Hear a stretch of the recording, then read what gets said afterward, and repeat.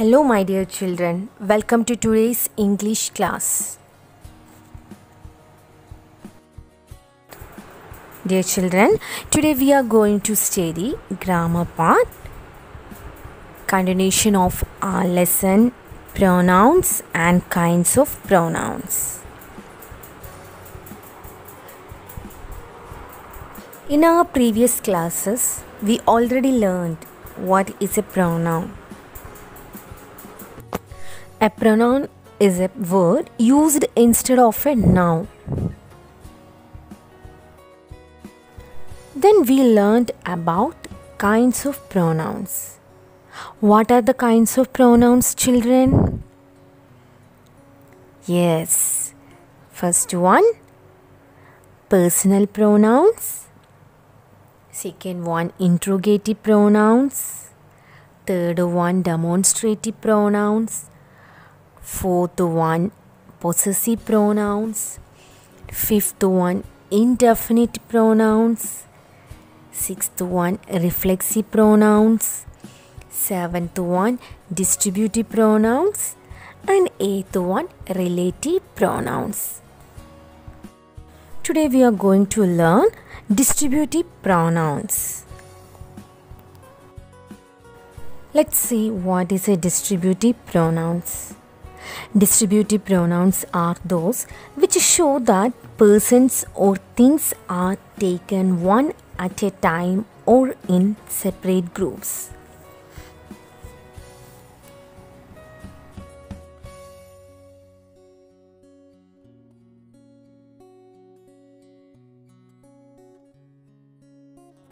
Examples Each of them got a prize. Either of these roads leads to the railway station. Neither of them came to see me. Here, each, either, neither are distributive pronouns. Here, each refers to two or more persons taken one by one. Either means one or the other. Keep in mind, children, either and neither should be used only in speaking of two persons or things. Let's read this example. Each of the adventures was a memorable one. Here, each refers to a noun. It referring to the noun adventures. So here, each is a pronoun. I repeat, here each refers to the noun one by one. Here, I am referring to every adventures. So, I'm referring to the adventures one by one. And here each stands alone. So, here each is a distributive pronoun.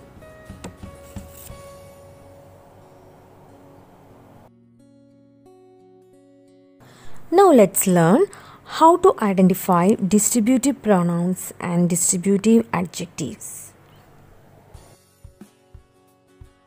Now read these sentences. First one, each of the boys got a gift. Second one, each boy got a gift.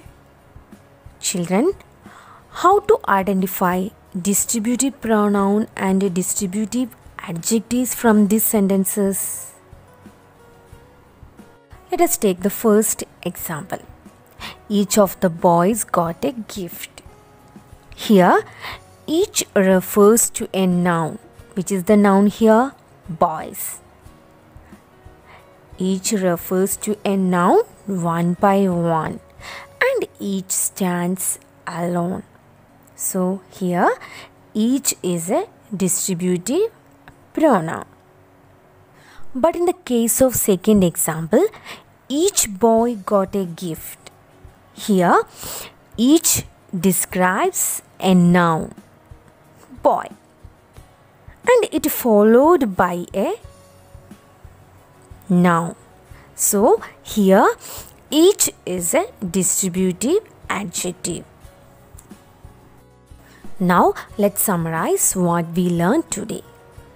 Today, we learned about distributive pronoun. Distributive pronouns are those which show that persons or things are taken one at a time or in separate groups. Each, either, and neither are the examples of distributive pronouns. Okay, children, this is the time to say goodbye. See you tomorrow. Thank you and have a nice day.